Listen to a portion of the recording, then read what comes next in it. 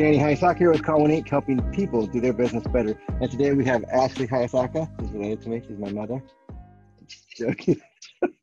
my daughter-in-law. But anyway, all right. So uh, we had a viewer request, and they wanted to hear what the Sennheiser MB660 sounded like paired to a PC, not to a mobile device.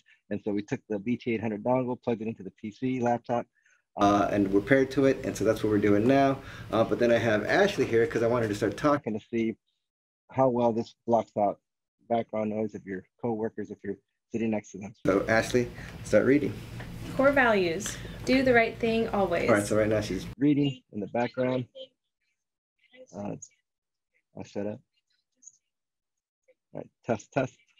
Longer. Maybe I have it a may take more conversation effort. with somebody on the phone and she's talking. All right, Evolution. all right. We so will strive to be better. there you go. And then let's do, oh, let's do this. We must constantly Here's the noise. Maybe you're outside and the car, you know, horns are honking. better customer experience. All right, so there's a test again. Sennheiser MB660 UC paired to a PC uh, via the USB dongle. Uh, viewer request. Again, let us know what you'd like to see uh, in the comments below. Uh, if you have any questions, there should be some links in the little description box. Uh, again, don't forget to like and subscribe if you like this type of video, uh, and we'll see you next time. All right, thanks.